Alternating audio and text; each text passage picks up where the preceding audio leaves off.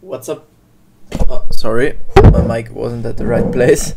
What's up guys, welcome to this video. In today's video I want to quickly show you how you can fix the issue um, when you're running into a cloud error on Steam. That's the topic of today's video, so just stick around if you're interested in that. But before we start right into the topic, I would really like to mention something.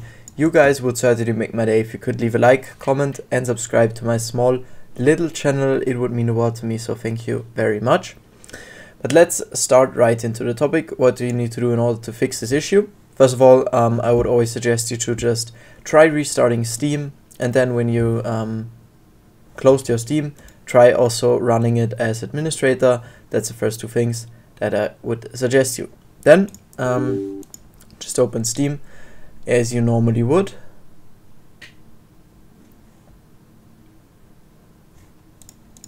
And log in as you normally would. And then when you're logged in, uh, on the top left corner, click on Steam and then on set, bro, and then on settings, and then change over to um, cloud.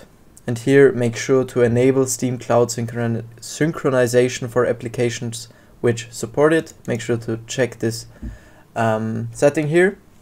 And then when you've done that, click on OK and click on uh, minimize, minimize, close.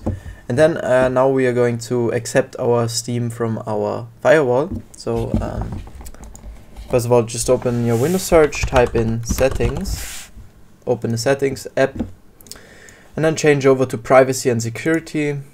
And here um, click on Windows, sec Windows security, firewall and network protection. Uh, click on the first link here, allow an app through firewall. And then uh, on the top right corner click on change settings. In order to do that you need to have administrator rights just to note that. And then click on uh, allow another app and click on browse. And then make sure to um, just find your steam in your local files. Um, my case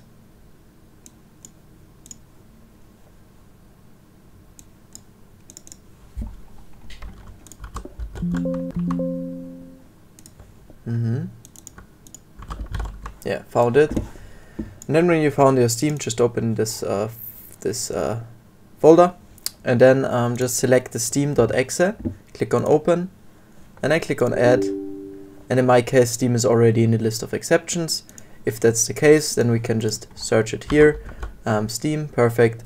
And then make sure to just check all of these um, buttons here uh, at your Steam processes. So uh, both of the private and public networks, just check all of them so you're safe. And then when you've done that, just click on OK and click on close and click on close. And that's already it. That's how you can fix Steam cloud errors. Uh, really hope this helped you guys. If you've got any questions, just let me know in the comment section below. Then I'll write you back as soon as possible and we will surely find a solution. But that's it. Thank you so much for watching. I wish you a wonderful day. See you in the next video. Bye.